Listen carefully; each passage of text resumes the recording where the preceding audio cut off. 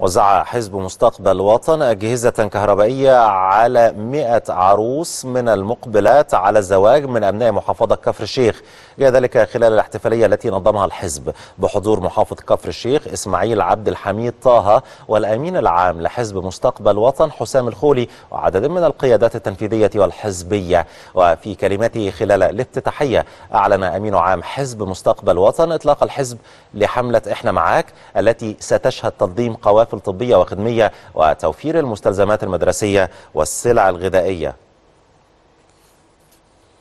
طبعا بيشرفني إن أنا أكون موجود بأشارك قيادات حزب مستقبل وطن على مستوى الجمهورية وأمانة الحزب على مستوى محافظة كفر الشيخ في إن إحنا الحقيقة نوزع النهاردة بعض الأجهزة المنزلية على المقبلات على الزواج.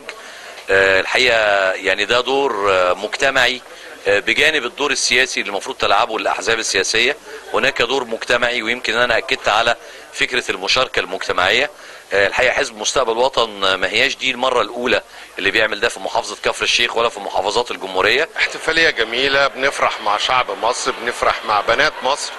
المبادرة بتاعت حزب مستقبل وطن إحنا معاك عاملينها في كل المحافظات. بس هي الحقيقة مبادرة حزبية وبتفرحنا كلنا أما بتحضر فرح لخمسين عريس وعروسة أو لمية عريس وعروسة زي النهاردة. دي حقيقة بتدي للأحزاب وحزب مستقبل وطن تفاعل جميل جدا مع الشارع تفاعل جميل جدا مع أهلنا. في احتفالية بتأتي من ضمن فعاليات حزب مستقبل وطن في إحنا معاك. إحنا معاك حملة أطلقها حزب مستقبل وطن.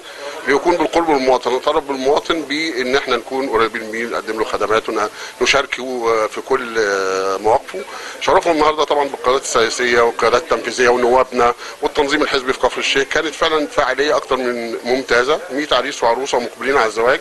تسلموا النهارده الهدايا من من من أب من التنظيم الحزبي في كفر الشيخ. بيشارك بيها أهله في كفر الشيخ. الأول بهني شعب كفر الشيخ.